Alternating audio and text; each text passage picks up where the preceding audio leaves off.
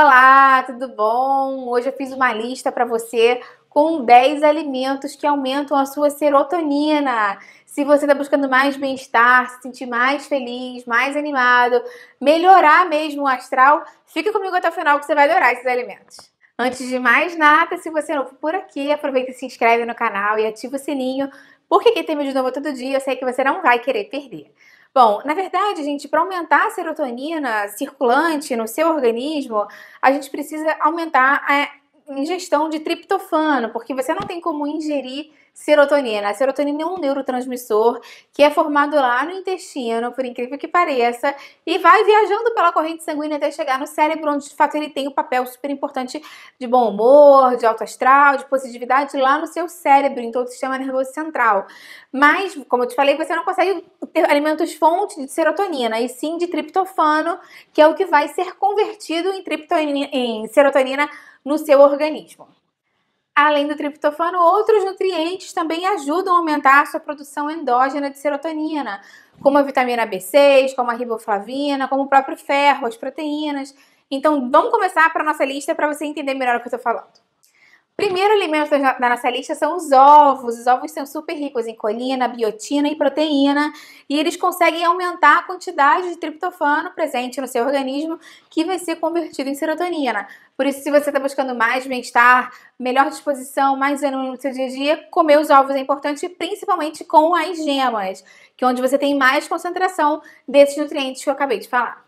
Outra boa fonte de triptofano é o leite e os derivados, então os queijos, iogurtes, todos eles são boas fontes de triptofano que estão naturalmente presentes no leite de vaca que a gente consome no dia a dia.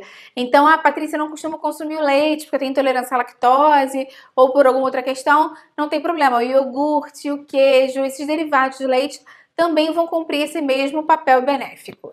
Se você realmente tem intolerância à lactose, pode ser que alguns iogurtes ainda te deem sensibilidade, alguns queijos. Então, nesses casos, procura algum desses sem lactose ou até mesmo leite sem lactose que existe no mercado, é um pouquinho mais caro.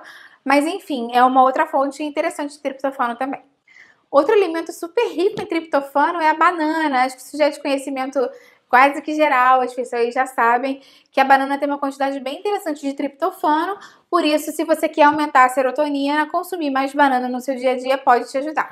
Se você está buscando realmente os efeitos benéficos de triptofano para aumentar a produção de serotonina, uma opção legal é você fazer uma vitamina de banana com leite, aveia, porque dessa forma você consegue alguns alimentos que são naturalmente ricos em triptofano ou que promovem um bom funcionamento do intestino, deixando ele mais bem nutrido, mais preparado para produzir a serotonina nele e sem comentar muito o valor calórico se você comesse 4 ou 5 bananas num dia. Então é o que eu sempre falo, não é porque o alimento faz bem que a gente vai consumir ele em excesso, sempre se lembra disso.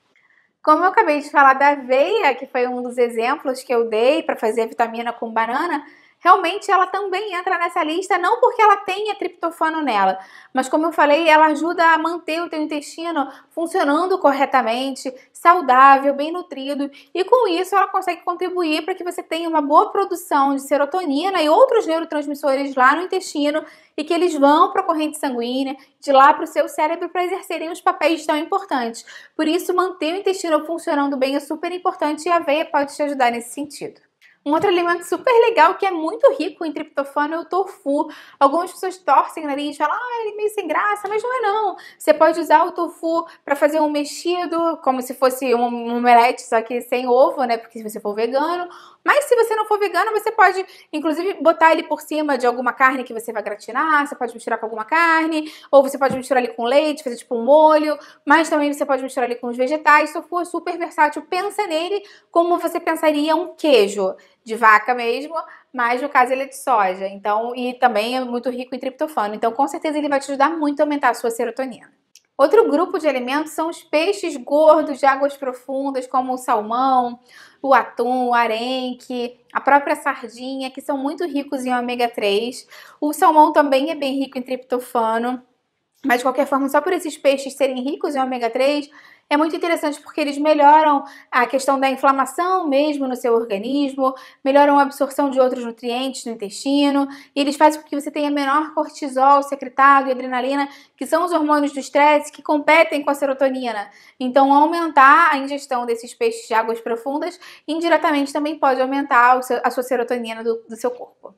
As nozes, de uma maneira geral, quando eu falo nozes, na verdade são as oleaginosas, as castanhas, as nozes mesmo, castanha do Pará, castanha do caju, qualquer uma delas são muito ricas em triptofano, além de terem selênio, de terem vários antioxidantes, terem, terem várias vitaminas e minerais, como eu te falei, também agem funcionando ali, agindo no bom funcionamento e na boa formação da própria serotonina. Então, de uma forma indireta, você pode adicionar nozes e castanhas no seu dia a dia. Você pode adicionar no iogurte, você pode adicionar na salada de frutas, ou então até em pratos salgados, de repente, combina muito bem. Tem uns pratos mais da culinária oriental que misturam porco ou carne de frango com amendoim ou com castanhas, que também funciona super bem. É uma boa opção para você introduzir mais oleaginosas no seu dia a dia.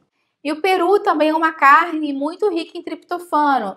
Quando eu falo de peru, tô falando da carne, realmente não daqueles embutidos industrializados de blanquê de peru ou peito de peru defumado, aqueles não evita consumir mais industrializados, vamos tentar consumir os alimentos mais in natura mesmo, comida de verdade.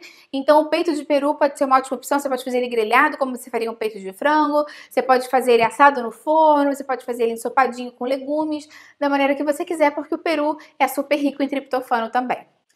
Chocolate também é super conhecido por melhorar o humor das pessoas e na verdade ele está sim relacionado ao aumento da serotonina, mas a gente tem que ter cuidado porque na verdade os benefícios do chocolate vêm do cacau. Então, para você ter mais benefícios, o seu chocolate que você consome tem que ter maior, o maior percentual de cacau possível. Acima de 70% é o preferencial. Eu até tenho um vídeo falando qual é o melhor chocolate para consumir. Então, se você quiser saber mais sobre isso e como escolher um bom chocolate, assista o vídeo, eu vou deixar o link aqui para você, para você assistir com mais facilidade.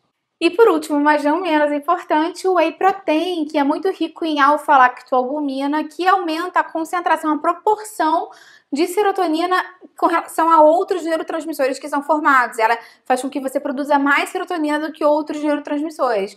Por isso, acrescentar o whey protein na sua alimentação também pode aumentar a sua serotonina. Então, agora eu quero passar quatro dicas para você aumentar a sua produção de serotonina, mas que não necessariamente tem a ver com alimentação. Na verdade, a primeira até tem, que é você aumentar o consumo de probióticos que você consome. Porque, como eu falei, o intestino bem nutrido, o intestino sadio, que funciona bem, vai produzir mais neurotransmissores de maneira correta, dentre eles a serotonina também.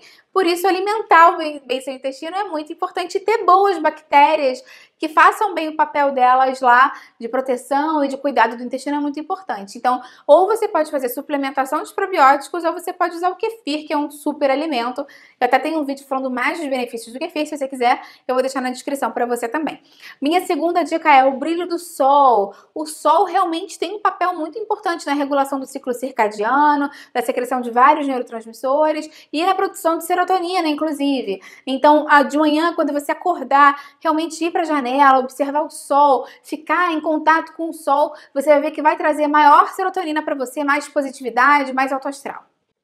Minha terceira dica são os exercícios físicos. Já tem realmente correlação, acho que a maioria das pessoas sabe disso, que quanto mais exercício físico a gente produz, melhora o nosso humor, mais neurotransmissores positivos a gente secreta, mais ânimo a gente tem, mais disposição no dia a dia. Então, se você conseguir introduzir uma rotina de exercício físico, com certeza você vai ver melhora no seu humor, no seu bem-estar de uma maneira geral. E por último, ter uma atitude mais positiva, isso é super importante.